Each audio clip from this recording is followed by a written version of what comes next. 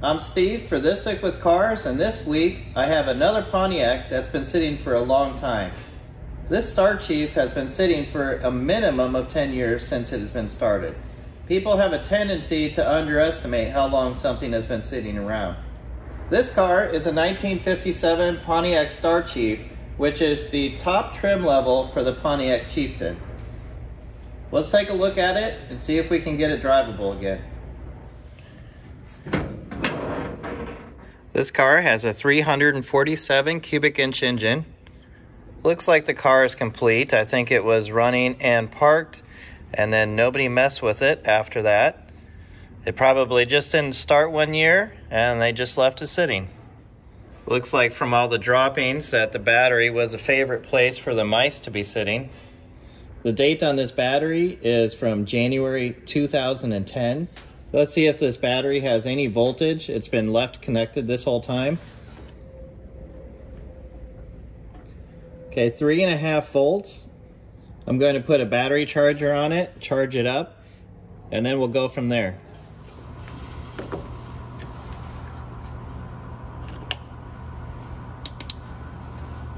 The battery's charged up the best I could get it. Let's see if anything works. Looks like the dome lights turn on. Let's take a quick look inside here. You can see Pontiac across the middle of the steering wheel here. The Pontiac Chief. The finish on the dashboard surround, that is just aluminum. It is not chromed.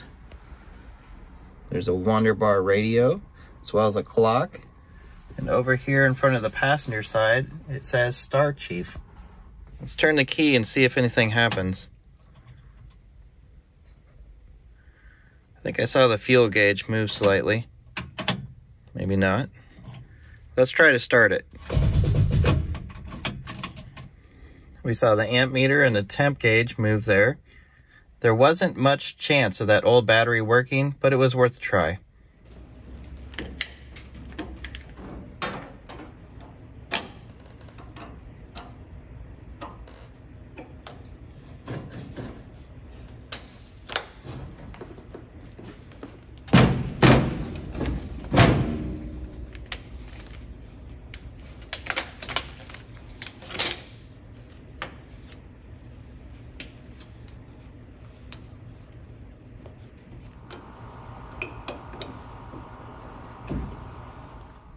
Now with the new battery, see what happens.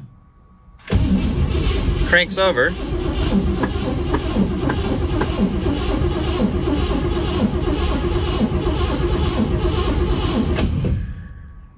Now that we know the engine turns over, let's take a look under the hood. The first step was seeing if the engine would turn over. Now we need to check if there's any spark. So I'm going to put my inline spark tester in here, and this will flash red if there's a spark going through here. There's a very good chance that we have no spark because the points are too corroded.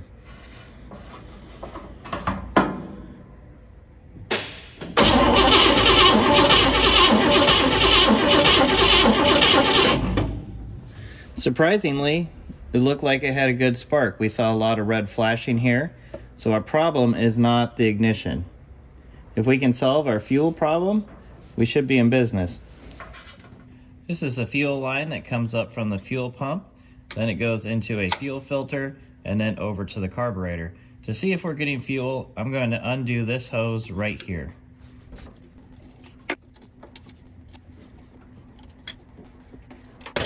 Feels bone dry there, so I don't think the fuel pump was running at all. I'm going to connect my fuel drip tank up to the fuel filter instead. I'm going to turn the fuel on. Just wait a minute. Make sure that it's not going to leak everywhere. But I can hear it going into the carburetor right now. Let's give this another go.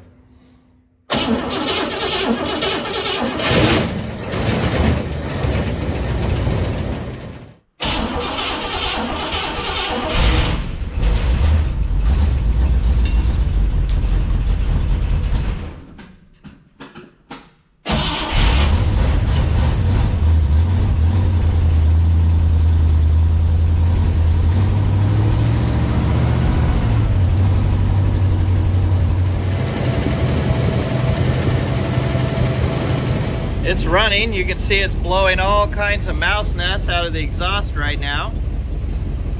It smells absolutely terrible. Inside the car, if I rev it up, you can see the charging system is working. And over here, we have almost 60 pounds of oil pressure, so that looks good. Up here in the engine bay, we have no signs of fuel coming from the fuel pump. So if we want this car to drive, we're going to have to address that problem. Let's take a look under the car now.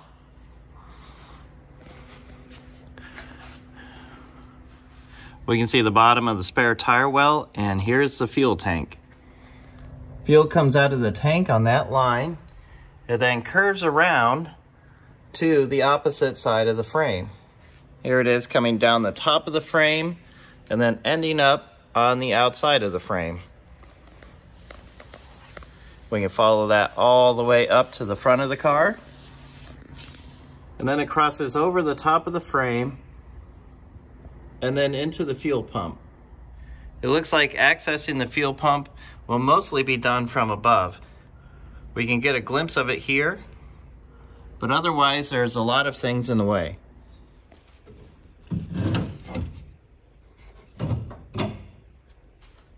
I'm going to undo the fuel line back here, right where it goes into the fuel tank.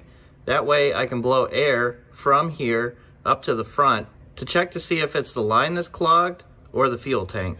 Connect my pump up to the tank, see if we can suck some fuel out of it.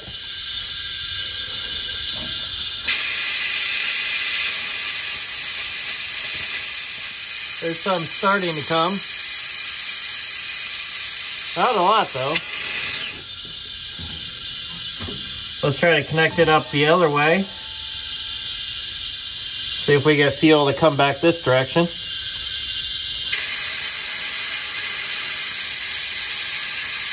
Yeah, fuel's coming back from the pump, so our problem must be here in the tank. I still have the gas cap off. Don't try this with the gas cap on your tank. So you might explode it, but I'm going to take my air gun. I'm going to try to blow air into the tank to see if I can get this unclogged.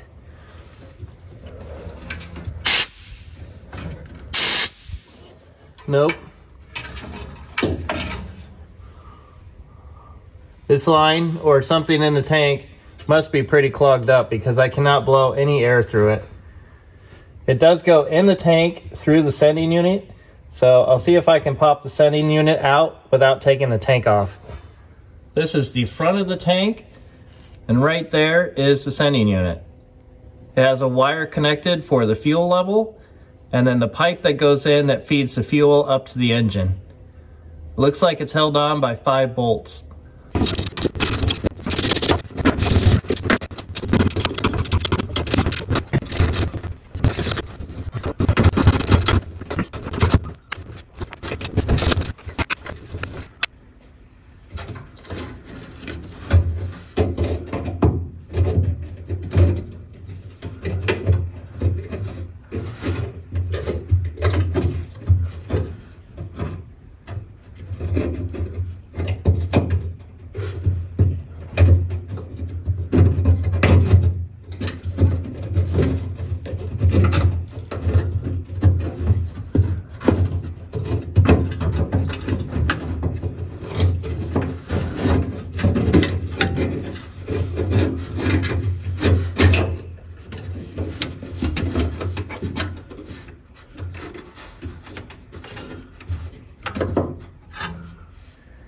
Here's the sender that came out of it. The float still does move. Looks like the wire that went to it though is completely corroded, so the fuel gauge will not be working. I'm going to take my blow gun, try to blow through it again, verify that this is clogged up.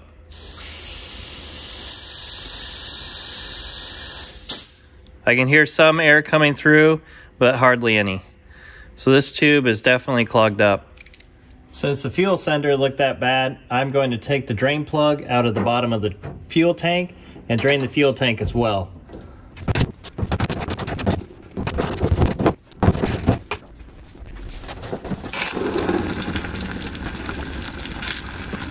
Looks like this must have had a full tank of fuel in it.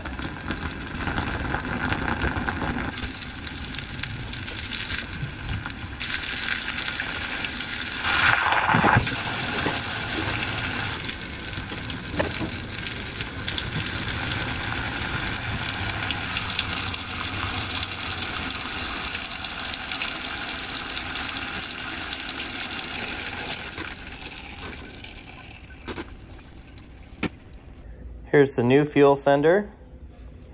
This one actually has a filter on the pickup. And you can see the wire there that connects down here from the float up to the base plate where you can connect it up to the fuel gauge.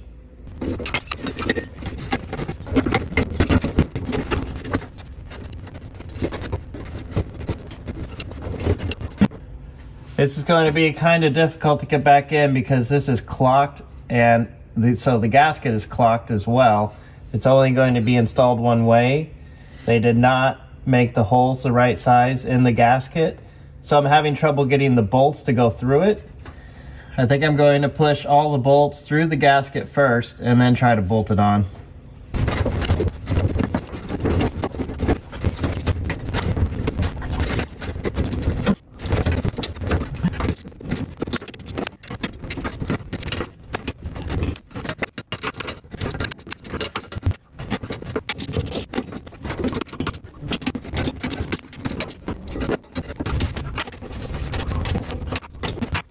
Now I can put new fuel in and start the whole process over again. Now I'm going to crank the engine and we'll see if any fuel comes out of here.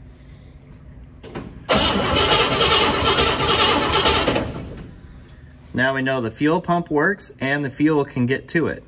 I just need to hook this back up and the engine should be running.